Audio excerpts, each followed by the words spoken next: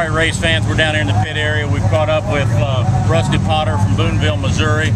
Uh, Rusty just won the B feature uh, here at Lamont, uh, the Winged Outlaw Warrior races we're having tonight.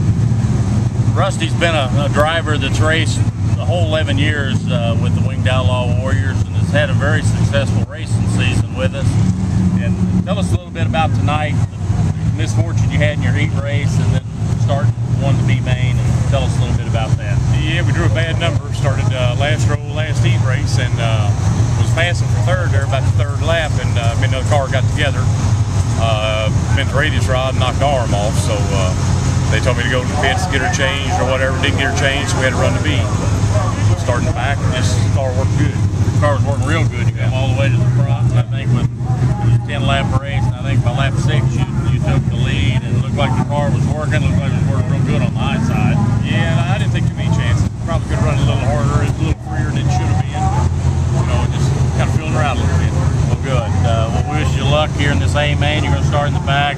Rusty's one of those guys that's guaranteed to be elbows up, and he'll be. It'll be exciting for the fans to watch Rusty. And uh, good luck to you, and bring her to the front. All right, thank you. Thank you.